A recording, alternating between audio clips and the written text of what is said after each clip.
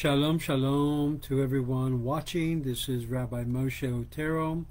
In this morning, we're going to continue the learning of Rabbi Yosef um, Albo, his Sefer Hai Karim, which many have commented a lot of positive things, and we need to um, move forward on this. We're now going to be looking at chapter 15 this morning, Sefer HaIkkarim, and he begins to um, Albo begins to look at the, the second principles, which are based on the three primary principles, which he we have mentioned already and derived from them, which are a total of eight, according to Rabbi Albo. From the first principle, the existence of God, are derived four secondary principles, including all of those things implied in the existence of God, who is a necessary existence.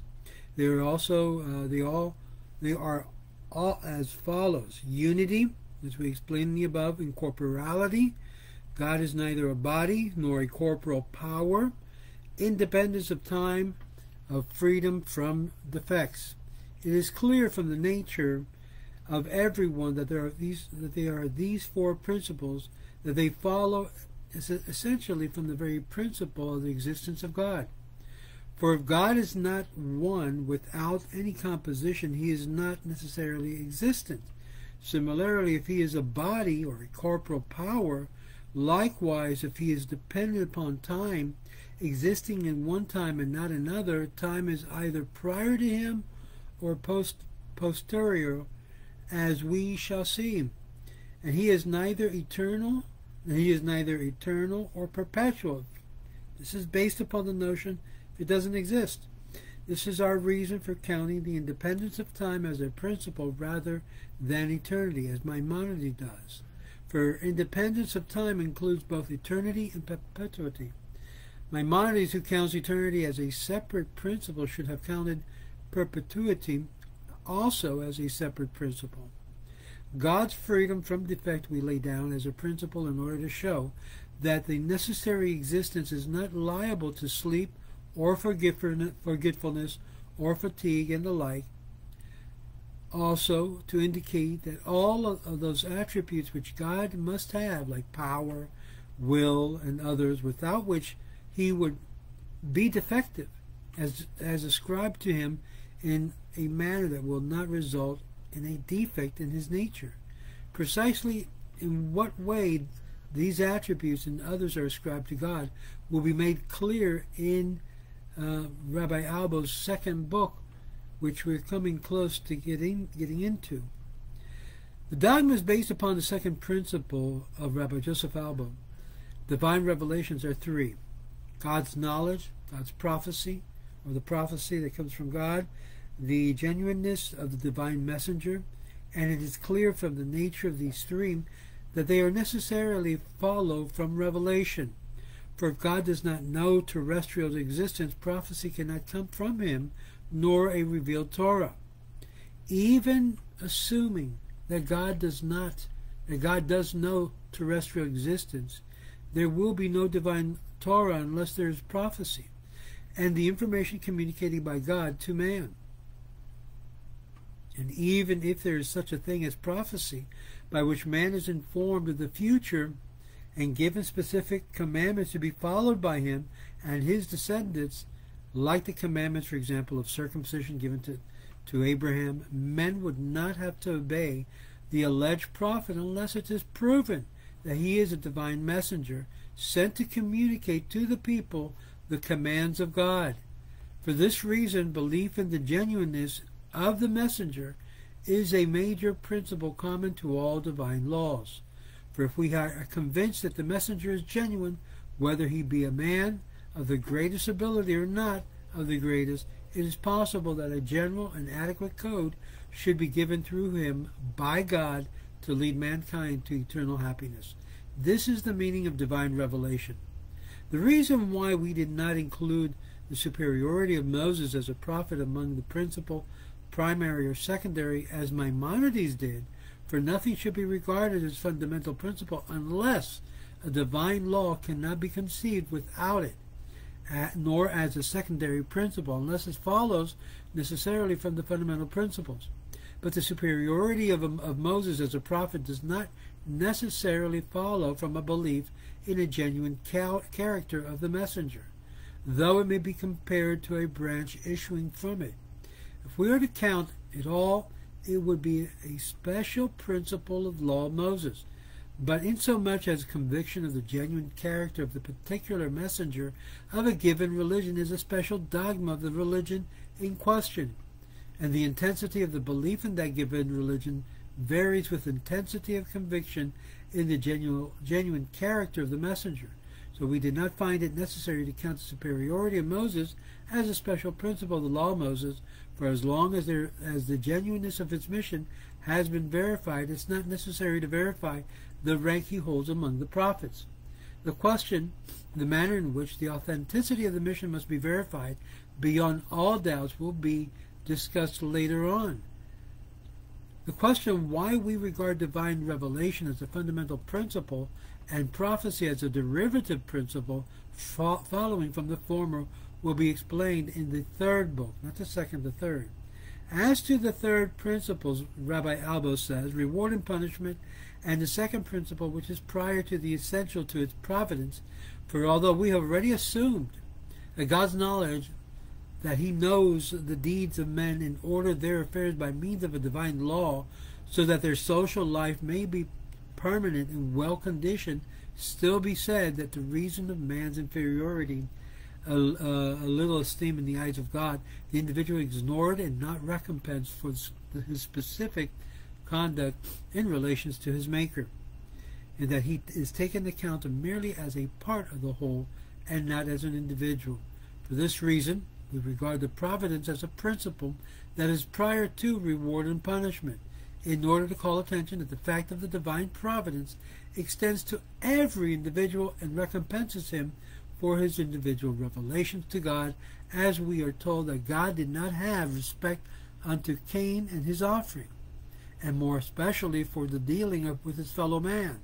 As the prophet says, Great in the counsel and, and mighty in the work whose eyes are open upon all the ways of the sons of men, to give everyone according to his ways and according to the fruit of his doings. Retribution is of two kinds corporeal and spiritual. The principle the principle there, therefore includes both. We did not even think it's proper to name corporeal and spiritual retribution as, as two separate principles, for the reason that some of our rabbis say that the reward given for the obedience to God's commandment is not in this world.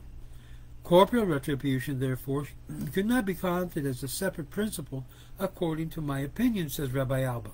Hence, I lay down reward and punishment as one principle, including both kinds. It will represent spiritual recompense to those who think that the main retribution is spiritual, not corporal, and those who believe in both kinds, it will stand for both together. And thus, the number of primary and secondary principles of divine law in general, according to this, are 11. The existence of God, the four secondary principles derived from it, the unity, the incorporeality, the independence of time, the freedom from defect, the divine revelation, and three secondary principles depending upon it God's knowledge, prophecy, and authenticity of the prophet's mission. Finally, the reward and punishment, and secondarily or secondary principle based upon upon it, which we call providence. If we combine divine knowledge and providence into one, as Maimonides does, the number will be ten. It's clear that they should not all be called fundamental principles because they are not equally essential to divine law. Thus, if one were to be were a dualist, or believe the corporeality of God, or that God is subject to time, this would not throw the divine law entirely, except for the fact that they are based upon the principle of the existence of God, and one who denies any one of them is virtually denying the fundamental principles, since he does not believe in the proper manner. For this reason, we did not treat them all alike as fundamental principles, as Maimonides does. Now notice how Albo makes a makes a distinction between what he is presenting and that of which Rabbi Maimonides or Rambam presented. the superiority of Moses and the immutability of the law we regard as neither fundamental nor derivative principles, for they are not essential to divine law. They are merely like branches issuing from the beliefs in the authenticity of the prophet's mission. If they are principles at all, primary and secondary, they are peculiar to the law of Moses and not common to divine law. Thus, the belief in the Messiah, in the resurrection of the dead, are dogmas peculiar to Christianity, which we cannot conceive without them. Notice what he says. Keep in mind, this is exactly what Albo was dealing with during his period of time, which was the Christian notion that put Messiah concept all in the framework of everything they believed, like other groups within the Jewish fold. But the law of Moses can be conceived as existing without the belief of superiority of Moses and the immutability of the law. It is better to say, therefore, that they are like branches issues from a belief in the authenticity of the lawgiver's mission, not dependent on these principles. Similarly, the resurrection, the messiahs, are like branches issuing from the dogma of reward and punishment and independent principles, primary and secondary, common to all divine laws, or peculiar to the law of Moses. Nor do we or could uh, nor we count the duty of worshiping God alone as a principle, because it is a specific command. It must be counted as a principle, primarily or secondary, as we have explained the preceding uh, the preceding videos. On the other hand, we count God's knowledge and providence as two separate dogmas because they're different, as Maimonides explained in the guide of Maimonides. And all the later authorities agree, though Maimonides himself combines them two, those two into one. Now, we do not include freedom of choice and general purpose among the principles fundamental or derived, though they are essential to um, divine law, which cannot be conceived without them because they are not essential to divine law qua divine. And thus, and thus, as was said before, but the special purpose of divine law, namely spiritual reward and punishment, we do not count, or we do count, I'm sorry, among the fundamental principles because it is essential to divine law. Freedom of choice, however, is not essential to divine law qua divine, and therefore is not counted among the principles, which fundamental or derived, nevertheless, in so much as it is essential to divine law, it is presupposed by it. We will explain this in the fourth book as he develops this concept in the, the latter books. So much concerning the number of dogmas, fundamental and derivative, Blessed be the one who gives aid and determines. Amen, amen, says Rabbi Albo. And I would agree with that amen.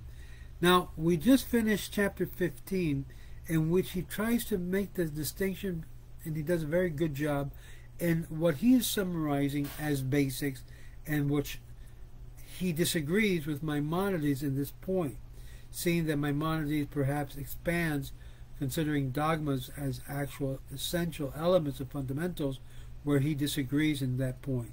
So in, in chapter 16, we're going to be looking at some ancient thinkers who have denied the possibility of knowledge. And that we'll look at chapter 16 in our next video of Sefer HaIkkarim. Continue with us and remember that by learning you grow in your faith in God. All of this he's putting forward as an argument eventually to those who embraced the notion of Christianity's incarnality or um, the idea of God man situation and a lot of the basic dogmas which Christianity and Judaism somewhat differs in essential fundamentals or beliefs.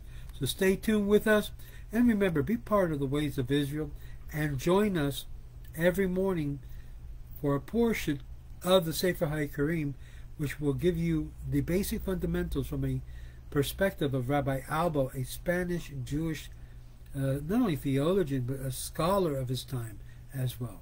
And may God bless you and strengthen you and share this video with as many friends as you can. Shalom, shalom, and thank you for being with us here on the Ways of Israel.